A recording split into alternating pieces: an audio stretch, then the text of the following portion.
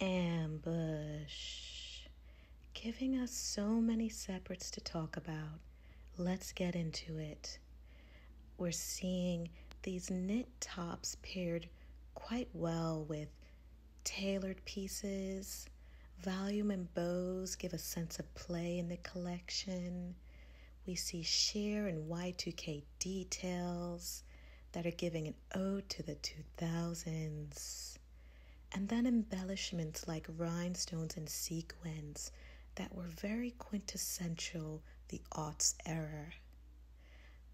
The play with the cutouts and the knits and the suiting and the fun mix and match of sportswear make this brand effortlessly cool.